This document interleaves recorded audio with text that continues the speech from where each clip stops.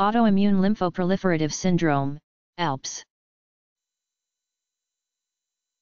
Autoimmune lymphoproliferative syndrome, ALPS a disease caused by failure of lymphocytes to die once they have finished doing their job.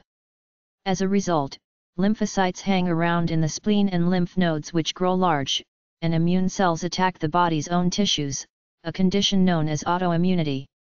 ALPS is characterized by, on a genetic level there are two types of ALPS.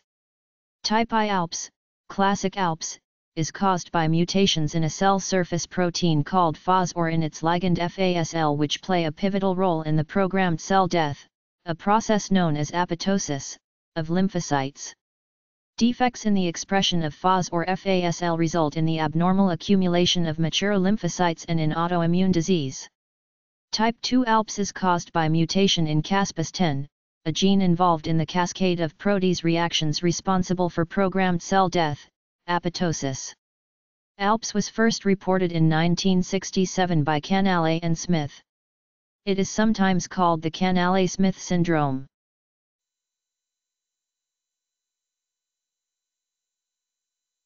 A U T O I M M U N E L Y M P H O P R O L I F E R A T I V E S Y N D R O M E A L P S Autoimmune lymphoproliferative syndrome, ALPS.